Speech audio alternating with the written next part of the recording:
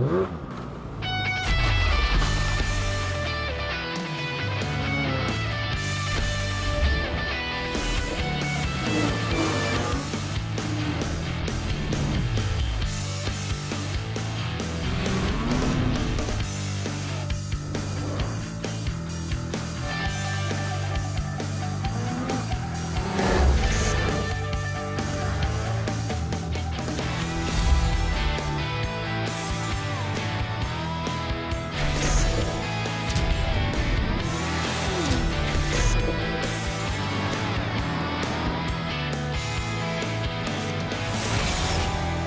Snowtrax is sponsored by Polaris, Think Outside, Ski-Doo Snowmobiles, Yamaha, revs your heart, and by iPone Lubricants, exclusively distributed by Parts Canada. Everyone who rides a snowmobile appreciates a perfectly groomed and maintained trail. But oftentimes we forget about the countless volunteer hours that made that trail possible. The question is, why do they do it? Uh, started off, just wanted to go fast, ride hard, have fun. Maybe 15 years ago, started riding the Groom Trails a bit, and then when I retired, I wanted to have something to keep me occupied that was functional, and I volunteered for the club and started coming out, and we do once a week, we do a club trail ride in the wintertime, and well, when I retired uh, after 36 and a half years, I, like a lot of people, you, you're used to working hard and you want something to do. I had a number of friends out here that I grew up with that uh, I don't want to say to use the word they drew me in, but uh, it's just a com camaraderie of being with your people that enjoy the same thing as you do. Uh, I grew up snowmobiling at Family Cottage in Sundridge, Ontario. So from the time I was, uh, you know, a few months old, I was uh, in the caboose behind a snowmobile. The first club I got involved with was actually the Timmins Snowmobile Club um, as a high school student, uh, doing my 40 hours of community service. Funding for the clubs comes from a mixture of permit sales and government grants, but oftentimes more funding is needed to complete extra projects, which is why it's so important that a couple of the manufacturers, Yamaha for example, have begun providing extra funds for the clubs and for their extra projects. Over the years, a lot of them have been criticized for making the money off selling machines and everything else and not putting anything back in. I think you're seeing a movement with a lot of the major manufacturers to, uh, to put something back into the sport. Recently, Yamaha Financial Services launched the Stay Outdoors program. I don't think anyone expects them to put millions in. We, we received one grant last year. I'm hoping to tap into Domino's this year.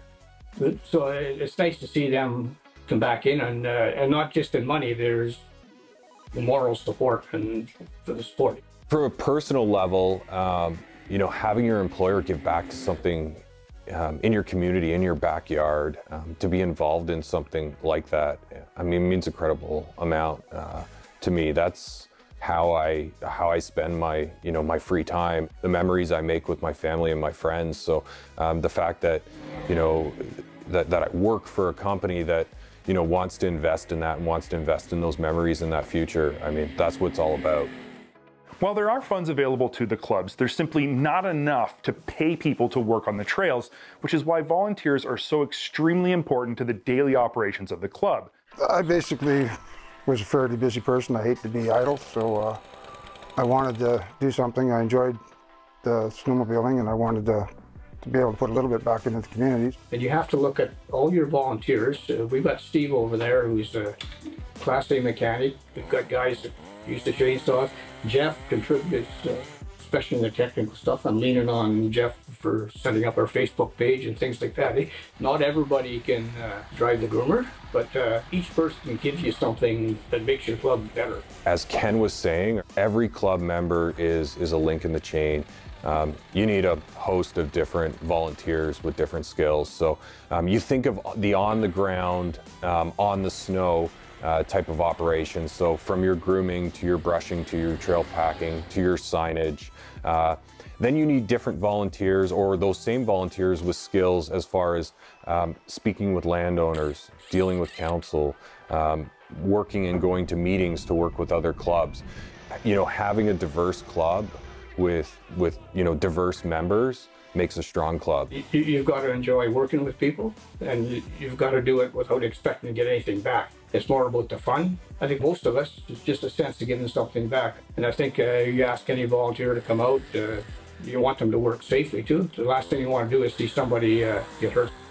The Bonfield Snowmobile Club is one of 289 across Ontario, and each club works to work with their neighboring club to form this network of 30,000 plus kilometers of trail. None of this would happen without the volunteers in every single one of these communities across Ontario.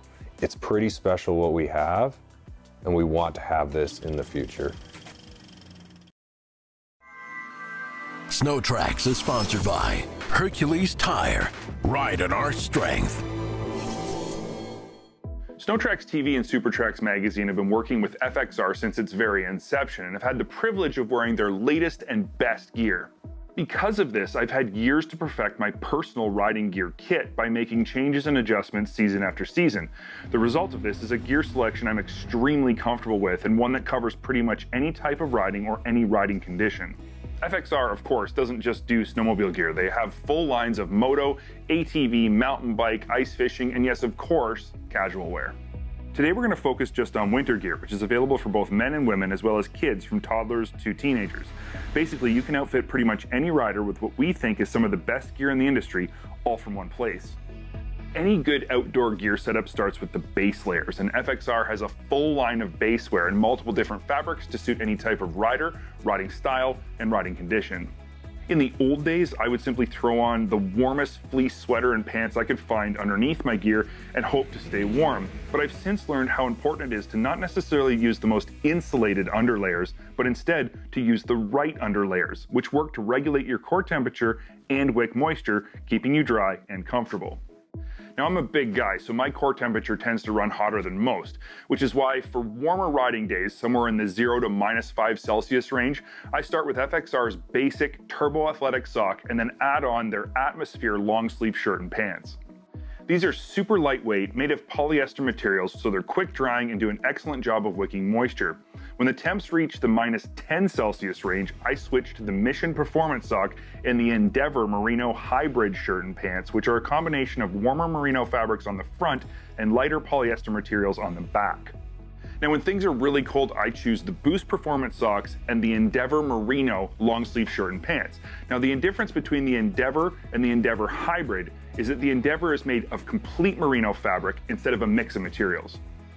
With these three setups, I can ride from above freezing to way below freezing temperatures and stay both warm and dry in pretty much any condition. Now let's move on to outerwear, which FXR offers in a number of different categories, and we'll be focusing just on three of them. For a strictly on-trail rider, FXR offers the Performance Trail Series. For an on-off trail rider, at low to medium elevations, they have Performance Crossover Line, and for the high elevation guys, they have the Mountain Crossover Line. The key design element to all of their jackets and pants, though, is a super durable, weatherproof, seam-sealed outer shell with strategically placed dry vents. Most of their crossover jackets have removable liners as well. Pants are offered in regular insulated or light uninsulated, depending on which style you choose. I stick to the Performance and Mountain Crossover series of outerwear, and because I run hot, I always remove my liner, but I'll explain more about that later. My favorite jackets are the Renegade FX and the Helium X. Now I wear the Renegade FX when I'm trail riding because it includes FXR's famous FAST flotation system. I wear the Helium X when I'm in the mountains where flotation, at least in water, isn't as important. Pair these up with the matching pants in either standard or light depending on where you're riding and you've got a suit that can handle whatever condition you can throw at it. I'm a huge believer in safety, which is why whenever I'm lake running, I choose a suit with fast insulation. But another essential part of my riding gear has always been and always will be a tech vest. Simply put, they are proven to save lives. But if you do wear one, you have to factor it into your layering system. This is why I always remove the liners from my jackets. The tech vest acts as another warmer insulating layer, so I find it way too hot to wear both the tech vest and the jacket liner. Yes, I do own a one-piece monosuit, a Ranger Instinct to be exact, and I love it under the right conditions. For example, I really like wearing it when I'm riding a snow bike or a widescape, or if I know I'm gonna be on and off the sled a lot. Some people swear by them, and they are available with fast insulation for trail riders and in uninsulated light versions for high altitude guys. Now the final pieces of gear we need to cover are helmets, boots, and gloves, and these are things that you'll choose largely based on personal preference and comfortable fit. For example, I wear an open face moto style helmet. I'm just more comfortable that way. And all I wear underneath is FXR's Cold Stop Balaclava, and I'm warm even in the coldest conditions. Now, I wear a blade helmet for one important reason. It's one of the few FXR offers in sizes above double XL, now, if I had a normal sized head, I would choose either the Helium Carbon due to its lightness or the ATR2 with its patented omnidirectional suspension system for optimal head protection.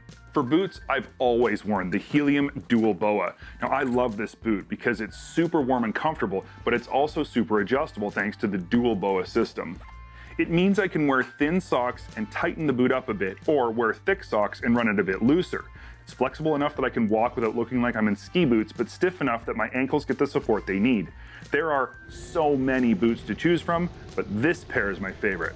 Now let's talk about gloves. And when it comes to hand warmth, I have found people to be extremely different.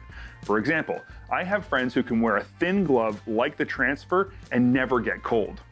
I, on the other hand, no pun intended, get cold hands, always have, so I opt for thicker pairs like the Recon, and I always go with the heated version. Yes, they are expensive, but when you're riding on those super frigid days and your hot grips just don't seem to be warm enough, nothing feels better than hitting that button and feeling the heated glove warm your hands to perfection.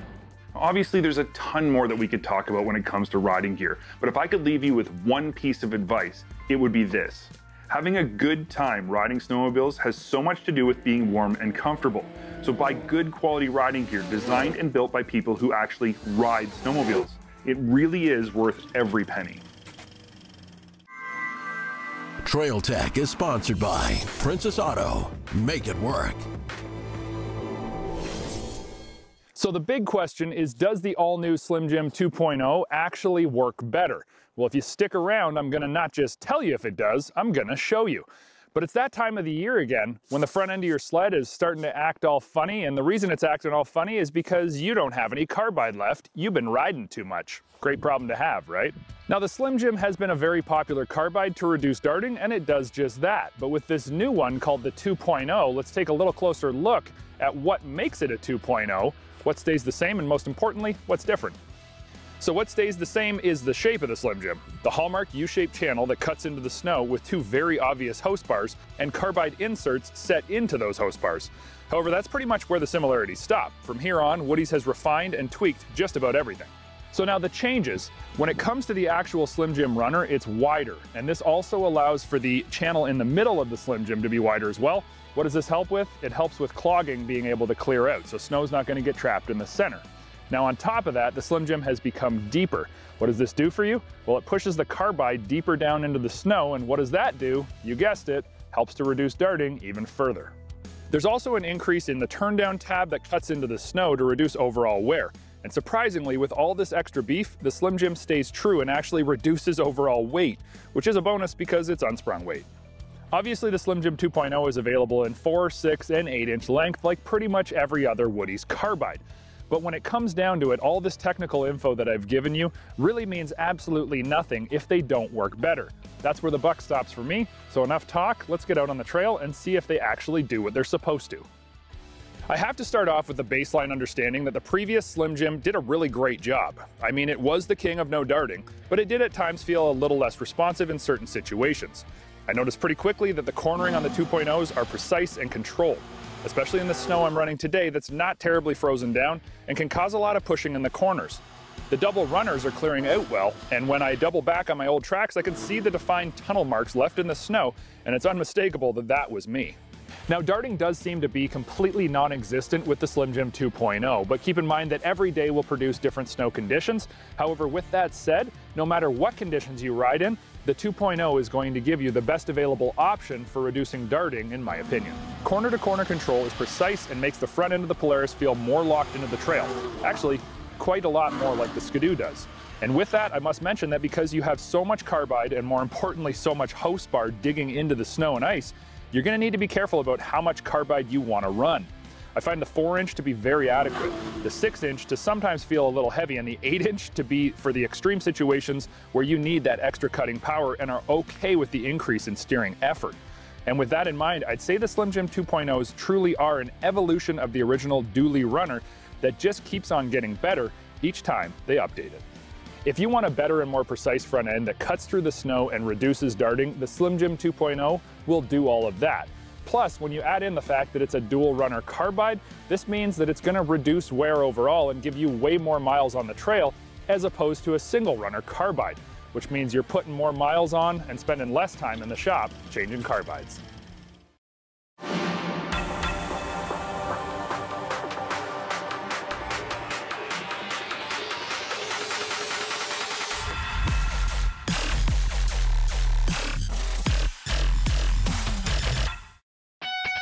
Snowtrax has been sponsored by Arctic Cat Snowmobiles.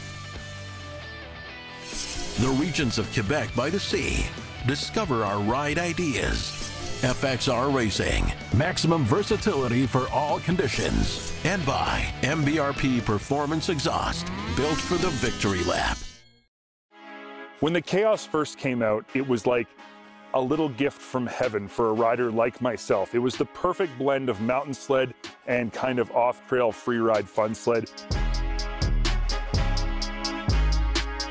What we have here today is a 2023 Polaris Khaos 850 Boost Slash. So what is a Khaos Slash? Well, before we go any further, I just kind of want to fill you in on what this sled actually is because it's pretty interesting. When, when a sled is called a slash from Polaris, what that means is that it's got a cut-off tunnel at the back and it's tapered. This is a 155 with a three inch paddle and a short tunnel. And basically the idea behind the short tunnel serves two purposes. First, it, it, saves weight, but that's not really the reason they do it. The second reason you would cut off the end of the tunnel, and in Polaris's case, actually taper the edges of it, is so that the sled can dig down further in the snow. When you wheelie the sled, it doesn't, the snow flap doesn't catch in the snow as you're trenching. It makes the sled go through the snow a lot more efficiently and it makes it a lot more fun because it'll wheelie and get the nose up without dragging the tail of the sled. The Slash models come with Patriot Boost turbo two-stroke motors, which this one has, or Polaris's new 9R motor as well. So if you order a Boost or a 9R, you're getting a Slash. That's just how it comes. First thing I want to talk about though is ergonomics, because to me, that's one of the most important aspects of a mountain sled. You can have power, you can have handling, you can have all these other things, but if the sled doesn't fit right, it's just never gonna feel right. For me, I'm 6'1", I'm a bigger guy. I can ride this sled sitting down on the trail on the way up, and it's comfortable, but the reality is when you're riding a mountain sled, you spend most of your time standing, and this sled has absolutely fantastic stand-up ergonomics. I'm tall, I'm 6'1", I don't feel like I'm hunched over. I can stand upright and still grab the handlebars. When I get off the side of the sled, the bars are right in my waist where I want them. So for me, for a guy my height, these bars are perfect.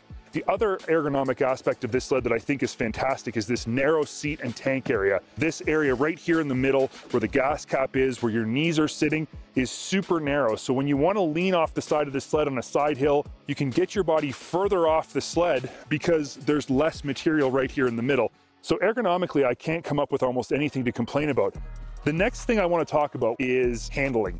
I put things in order when we talk about them. So I put ergonomics in order because for me, that's a really important aspect of a snowmobile. As I said, if it doesn't fit, if I'm not comfortable on it, it's gonna be hard to ride no matter how good it handles and no matter how much power it has. But to me, the second most important aspect of a mountain sled is handling.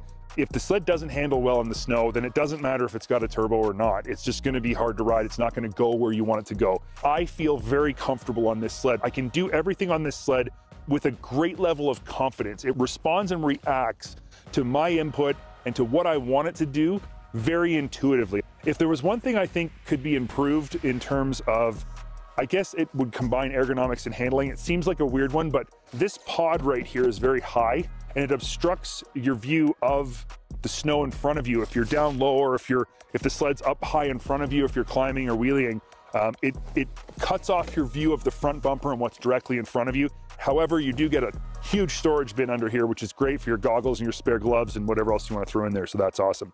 The Khaos has this full set of Walker Evans Velocity high-low shocks. These are Walker Evans top, top, top of the line shocks. They're position sensitive. They're fully adjustable. They're high-low, compression, rebound. Part of why this sled handles so well is because it's got these shocks that can be tuned perfectly to how you want the sled to handle. So if I want the front end to be softer and I want it to articulate more, I can do that by adjusting the springs and adjusting the shocks. If I want the sled to squat more in the back, I can do that.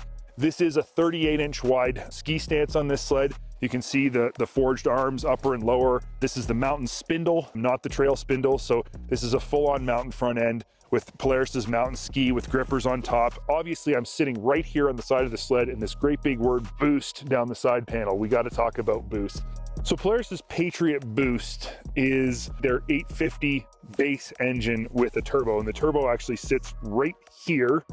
The exhaust can's right here, so it's very well packaged, and obviously the bodywork isn't different for a turbo versus a non-turbo two-stroke for Polaris. They're the same bodywork. Here is what I know about horsepower for a Patriot Boost. Polaris claims that it makes approximately 10% more horsepower than a naturally aspirated 850. The naturally aspirated 850, we have all assumed, we've kind of gathered information from around, is making somewhere in the neighborhood of 168 horsepower, somewhere in that neighborhood. So if you do the math, basically the Patriot Boost is probably making somewhere in the neighborhood of 185 horsepower. That's our best guess. It may be a little more, it may be a little less, and it would all depend on what dyno it's on, but that is what we feel this engine is making in terms of horsepower. It also has a belt drive, quick drive 2, so it's got instantaneous power transfer with very little uh, um, centrifugal force. It's a great platform when you want to spin the track up as fast as possible. Overall, my opinions on the Khaos slash Patriot Boost 850, 155 3 inch with quick drive 2 belt drive. If you want to have fun and you want to go out in the snow and just have an absolute blast, maybe you're not going to run the tightest tree lines, maybe you're not going to run the most technical lines, but you really want to have the fun, this is the sled